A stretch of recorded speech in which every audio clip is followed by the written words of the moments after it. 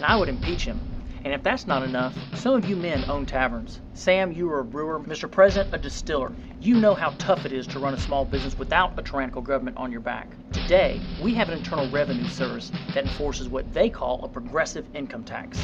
You'll love this. Every year, if not every quarter, we're basically required to spy on ourselves, report what we earn, who we hire and fire with an all powerful separate court system. Without representation, they can increase taxes, add costly regulation, or perform malicious audits. Now, this same IRS is going to force us to buy health insurance, cram it down our throats, or else. Now, I took an oath to defend that with my life. Now, I can't stand by while these evils are perpetrated. You gentlemen revolted over a tea tax. A tea tax! Now look at us. Are you with me? Gather your